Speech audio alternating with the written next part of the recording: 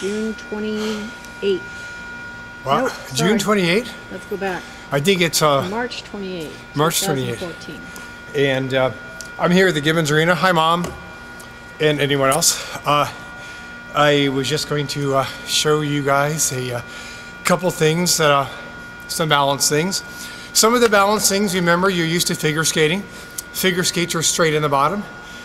These ho- uh, hockey skates I'm wearing are curved.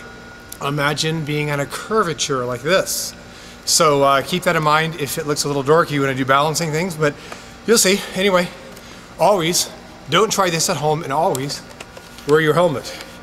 Where we're going, we don't need roads.